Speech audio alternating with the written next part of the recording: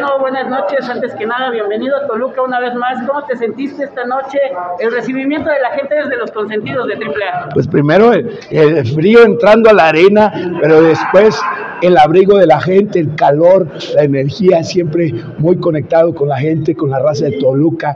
Ya teníamos mucho sin venir aquí y, y créeme, ese es uno de los lugares que ya tenía las ansias de, de llegar. Se hizo la fiesta, papá, y pues ya se demostró que sin Pagano y sin Toluca no hay fiesta, papá. Hemos visto en eventos, pues prácticamente a lo largo del año contra grandes rivales. ¿Contra quién te gustaría culminar una rivalidad para, pues ahora que estás con Sherman haciendo equipo y defendiendo la causa de la empresa?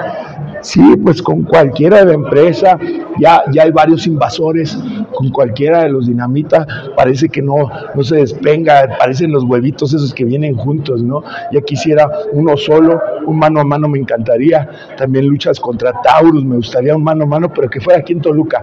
Créeme, eh, siempre que, que, te bajas después de, de, recibir los aplausos, la energía de, gente como la de Toluca, pues quieres más, quieres regresar y quieres dar todo y pues yo creo que, que, a Toluca le debo mucho porque desde que yo entré a las filas de AAA fue de las plazas que más me recibió. Eh, yo me acuerdo mucho de una televisión donde la gente, donde iba lastimado, me subía a la esquina y la gente gritaba muy fuerte. Entonces todas esas cosas para nada se me olvidan. Muchas veces creen que nosotros llegamos y, ah, Toluca, Querétaro. No, no, no. Yo me acuerdo perfectamente que es Toluca y hoy me lo, me lo volvieron a recordar. La raza, muy, muy agradecido este, y, pues a, darle todo, ¿no? a entregar todo a la de unos magníficos técnicos como es Laredo Kid y Octavo Junior después de seguir haciendo dupla con Chessman, ¿ya hay confianza para seguir con él en la esquina?